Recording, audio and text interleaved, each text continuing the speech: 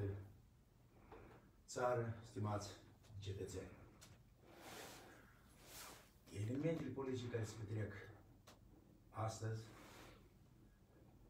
și încă o perioadă mai delungată ne arată că noi suntem nevoiți să întreprindem niște pași radicali pentru a arăta că țara și societatea are nevoie de schimbări.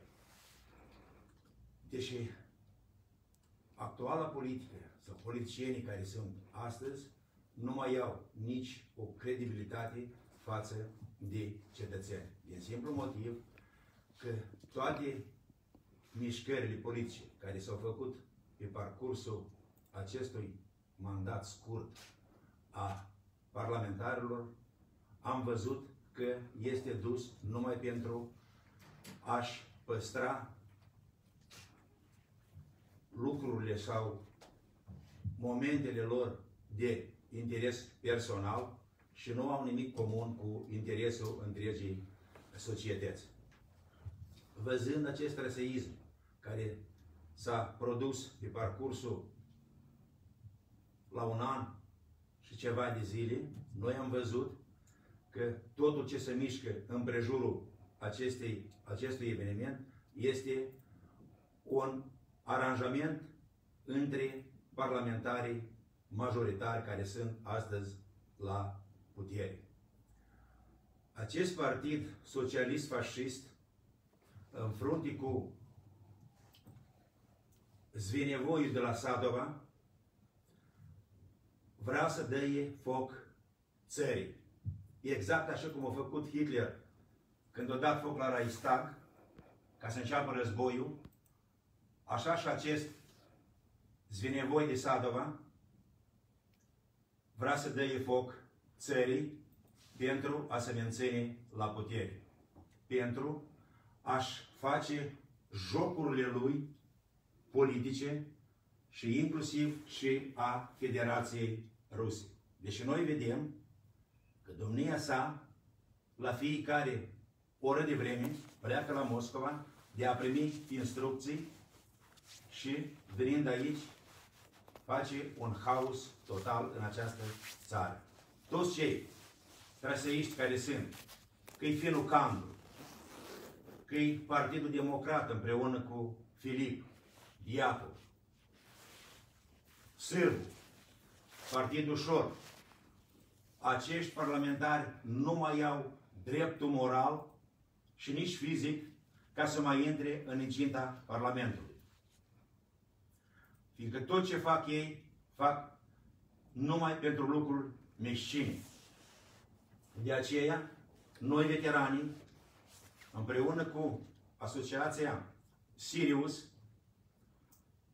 vrem să facem un apel către doamna președinte pentru a declara alegerile anticipate. Noi nu mai putem tolera acest dezmăț și bătaie de joc pe toate segmentele politice și economice care îl face acest guvern, care este lăsat în spatele cărui se află Dodon. Noi vedem destul de bine cum noaptea acest parlament majoritar au votat legile pentru hoț de o noapte ca peste o zi, două să le anuleze. Asta dă dovadă de lucrurile și faptele lor meșini care ei le fac numai pentru interes personal și nu pentru interes de țară.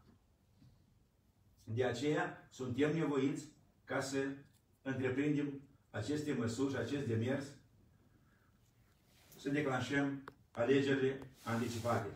Mai concret, și de ce vrem să le facem, fiindcă acest Parlament, care se află în Parlamentul actual, și în, în componența actuală, este în afara legii. dar mai precis și cu existate, cu probe, o să vorbească colegul nostru din platou, juristul Anatolie Pietrici. Stimați concetățeni, eu mă numesc Anatolie Petrici, sunt președintele Asociației Obșteri Sirius, care se ocupă de protecția drepturilor fundamentale cetățenilor. Am venit în această conferință de presă să vă aducem la cunoștință în ce situație se află Republica Moldova astăzi, ținând cont și de ultimele evenimente, că toate, dacă ați observat, toate lucrurile se învârt în jurul Parlamentului. Adică toate problemele cele mari ale Republicii Moldova uh, vin de la Parlamentul, în deosebire de la componența actualului Parlament. Vreau să vă declar că Republica Moldova a fost un stat artificial creat, Republica Moldova este un stat fantomă, un stat clandestin și un stat ieșuat. și uh, pentru a confirma aceste declarații, am să vă aduc uh, ca probe documente incontestabile, la care nu eu sunt autor, ci sunt autor instituțiile statului. Deci, Republica Moldova, ca și orice altă țară de glob pământesc, are și are Constituția ei. Constituția Republicii Moldova a fost aprobată în 1994 de Parlamentul care a venit după Parlamentul 90. Și aici vreau să fac o mică remarcă referitor la toate parlamentele care au avut, uh, s-au peridat prin Parlament, toate componenții Parlamentului care s-au peridat prin Parlament după Parlamentul 90. Deci am avut un singur Parlament care a fost un Parlament național, asta a fost Parlamentul 90. După aceasta, toate parlamentele nu au avut nimic cu Republica Moldova și din cauza lor am ajuns în situația în care suntem astăzi. Deci, Republica, în Constituția Republicii Moldova este articolul 7, care prevede că orice, că Constituția Republicii Moldova este legea supremă a Republicii Moldova și nicio lege și niciun act normativ nu are putere juridică dacă el contravine acestei Constituții. Deci toți știm că actualul Parlament, ca și celelalte parlamente, au fost alese în baza codului electoral. Uh, codul electoral, ca să fie lege organică, el trebuie să fie aprobat de Parlament. Potrivit articolul 66 din Constituția Republicii Moldova, uh, Parlamentul are dreptul să adopte doar trei tipuri de documente. Acestea sunt legi, hotărâri și moțiuni. Articolul 72 din Constituție se numește categorii de legi. Și alineatul 3 din această lege din, din Constituție prevede că prin lege organică se reglementează mai multe domenii sunt enumerate. Primul domeniu care este stă în capul acestei liste este sistemul electoral. Pe 8 decembrie 1997, în monitorul oficial al Republicii Moldova, a fost publicat uh, decretul președintelui Republicii Moldova, iată aici sub articolul 666, și codul electoral al Republicii Moldova, sub articolul 667.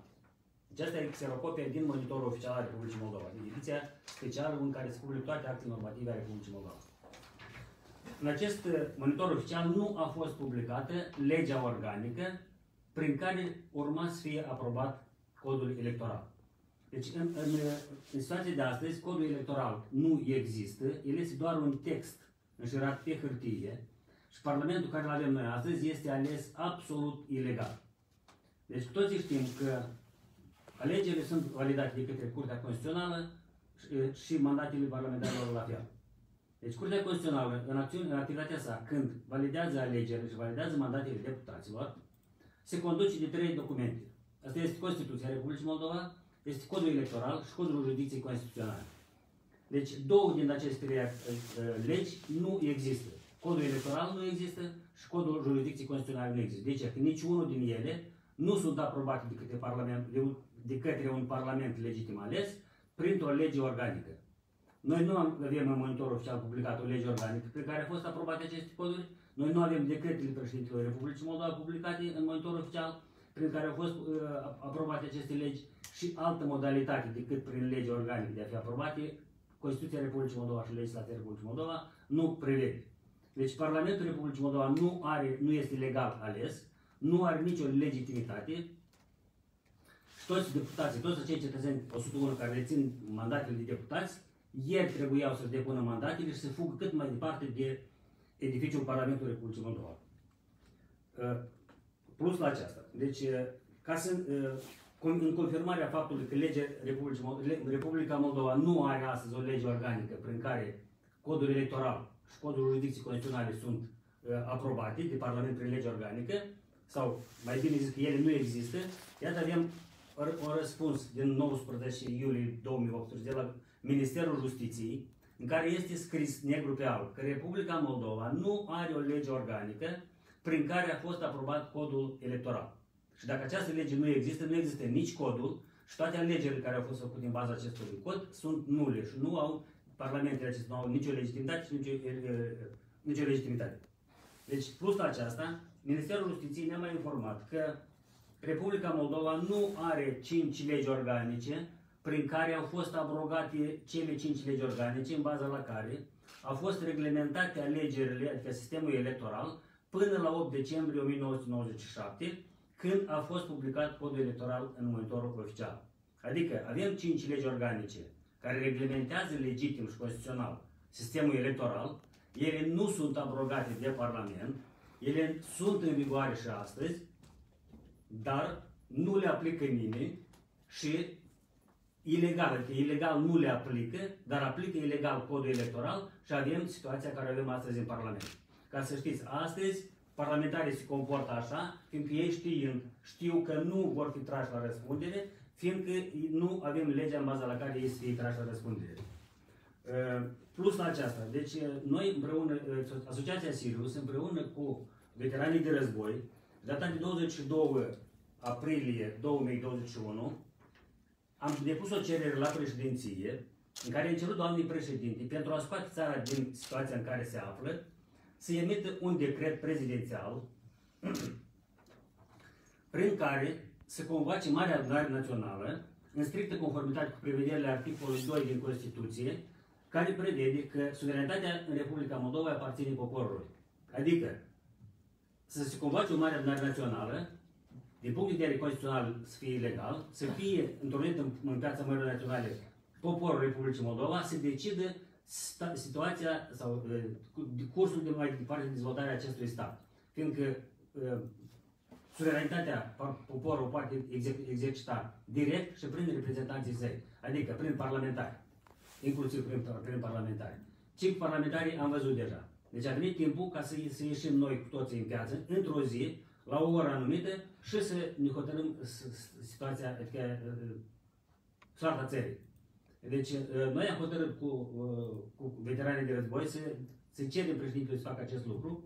I-am propus, doamne președinte, în timp de trei zile, să ne invite la o discuție, ca să discutăm toate momentele, să prezentăm toate probele de ce considerăm statul Republica Moldova a ieșuat și trebuie ceva de întreprins și de întreprins cât de mai urgent, legitim și constituțional. Deci nu avem la moment nicio răspuns de la doamna președinte. Noi o să continuăm să, să, să rezolvăm această întrebare pentru a avea o întâlnire cu doamna președinte, dar noi am decis ca pe data de 23 mai 2021 la ora 12 să convocăm Marea Adunare Națională, Piața Marea Naționale. Ordinea de zi o să o facem uh, publică puțin mai târziu. Trebuie, vrem să o coordonăm cu doamna președinte și să coordonăm și întrebarea ca doamna să semneze un decret pentru a convoca Marea Adunare Națională, adică să se alăture veteranilor de război și Asociației Sirius de a convoca Marea Adunare Națională. Uh, pentru, uh, pentru aceasta, deci, noi o să insistăm să ne dea răspuns la această cerere care am depus-o și ca să vă informăm mai detaliat toate întrebările care le avem noi uh, pentru a demonstra că statul Republica Moldova a ieșuat, o să mai facem o șir de ieșiri în public, conferințe de presă, uh, briefing-uri pentru a vă prezenta și alte documente care confirmă că Republica Moldova a, ca stat a ieșuat. Atât am vrut să vă spun. Dacă o să apară întrebări, eu sunt gata să răspund la întrebări. Poftim. În completare... Ce așezați, vă rog. Poftim? Da. În completare la cele ce a relatat uh, colegul nostru, Anatole, vreau să vă aduc la cunoștință că uh, exercitarea unor uh, acțiuni în lipsa unor legi este fără de lege. Noi calificăm toate cele relatate de colegii mei că avem în capul meu este fără de legi ce, ce au dus la starea la care noi e, suntem astăzi. O situație urâtă, o situație grea este în, în, în domeniul instituțiilor statului care reflectând uh, dezmățul cel, celor ce conduc această țară, a devenit o parte a unei grupări criminale organizate uh, care pe parcursul mai multor ani țin uh, în captivitate instituțiile de forță, acele instituții care trebuie să, conform acțiuni, obligațiunilor sale de serviciu, trebuie să aducă la banca, pe banca acuzaților pe toți cei care comit infracțiuni și să vopsesc ilegalități. În, cu regret, în ultimii ani mai cu seamă,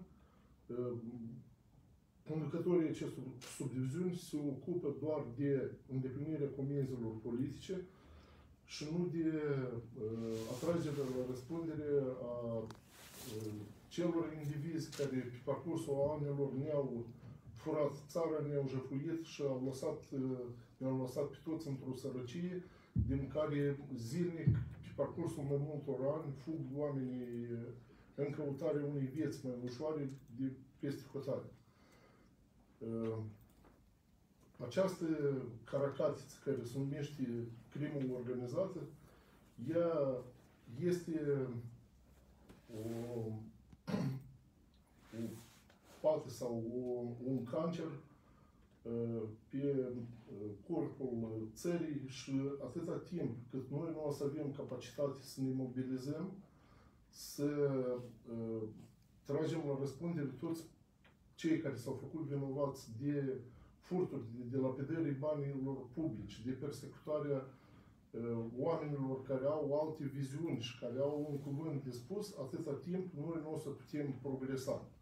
Noi uh, nu putem să mergem în alegeri anticipate cu un uh, guvern ieșuat, cu un guvern incapabil de a gestiona situația la general și de un guvern în componența cărora uh, organele de forță care sunt menite să stopeze frauda uh, electorală și alte gene de, alte gen de fraude, nu fac acest lucru, dat fiind faptul că stăpânii lor le uh, dau indicații de alt gen.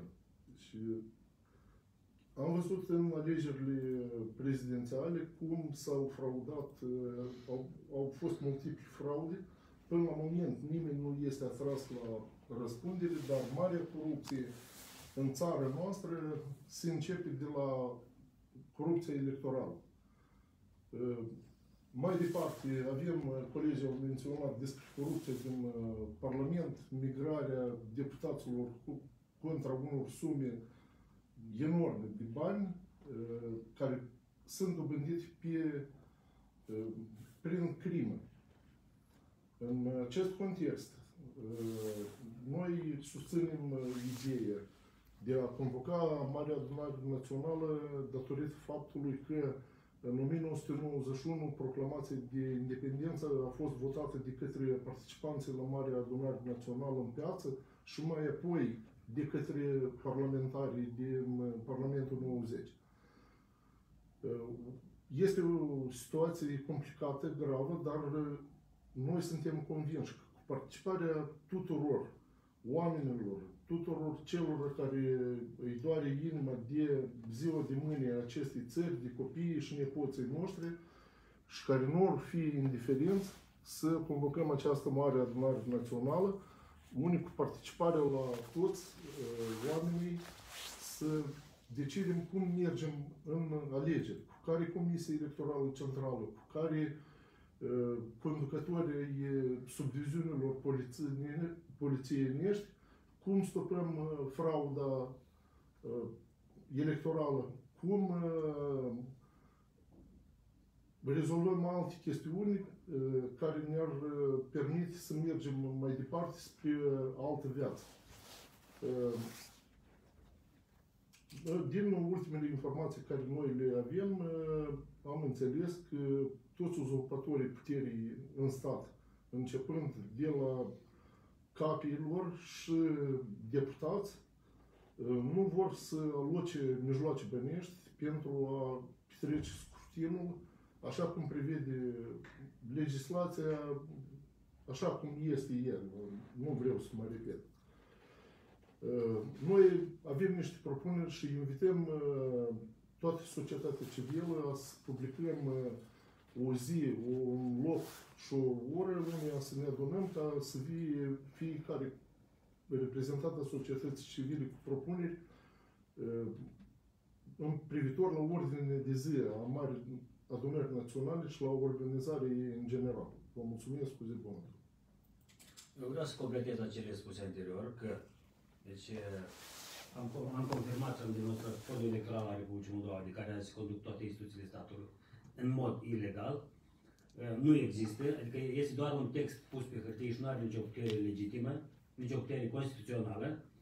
În baza articolului 14-16 este instituită Comisia Electorală Centrală și altă lege, alt act normativ care uh, ar confirma existența acestei instituții nu există.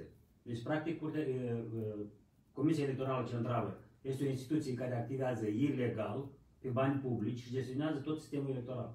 Închipuiți-vă că la noi tot sistemul uh, de stat, adică Parlamentul, toate uh, uh, consiliile locale, primarii sunt aleși în baza unei legi inexistente, în baza unui text uh, înșurat pe hârtie care nu are putere de lege și este făcut pe bani publici. Adică tot sistemul de instituțiilor de stat este putred și este, este timpul când poporul trebuie să se strângă la Marea Adunare Națională și să hotărască soarta acestui, acestui stat. Uh, suplimentar aș vrea să mai spun despre faptul că Curtea Constituțională astăzi examinează sesizările referitor la declararea stării de excepționale și sperăm că o să fie respectată Constituția, cum au făcut-o de mai multe ori, și va fi declarată neconstituțională cea hotărârea Parlamentului. Vor fi, va fi dizolvat Parlamentul în cel mai scurt timp, dar vreau să atragem atenția doamnei președinte că nu poate numi alte alegeri, antici, alte legeri anticipate în baza codului electoral care există astăzi. Nu se poate, fiindcă mergem pe aceeași cale greșită și vom, vom repeta aceleași greșeli și vom avea iarăși un parlament, un parlament ilegal și ilegitim. Deci trebuie să adunăm poporul în piața mării naționale, să îi spunem în ce situație suntem, să punem la vot ordine de zi și să votăm soarta de mai departe a statului. Pentru că nu se poate de mers mai departe în afara Constituției. Suntem stat, nu suntem un SRL care își face de cap așa cum poate persoana care ține acest SRL. Este statul Republica Moldova, este, sunt cetățenii care suntem milioane, suntem mai mult de un milion peste cotare din cauza cauzului care au creat parlamentele până acum an și avem timpul să facem ordine în casa noastră. În acest context vreau să mai adaug că principala problemă sau punctul principal cheie care va fi la Marea Adunare Națională va fi uh, instaurarea unui uh, guvern provizoriu, adică ales de popor. Uh, tot la această adunare vrem să propunem ca să fie alesă Comisia Electorală Centrală și după aia asta să-i dăm legitimitate ca să funcționeze și să uh, poate uh, face alegerile parlamentare legale. Vă mulțumim! Asta a fost pe ziua de azi cu uh, probleme și evenimente uh, ca să dăm uh, continuitate acestui uh, briefing, uh, cred că o să ieșim uh, adăugător cu informația care o avem, dar credeți-ne, este foarte uh, amplă, multă și de atâta treptat am să vă aducem la cunoștință toate ilegalitățile care le-am găsit în uh, legislația făcută de parlamentari care astăzi uh, încă se mai socot uh, parlamentari. Vă mulțumim foarte mult! Asta este. Da, o zi bună.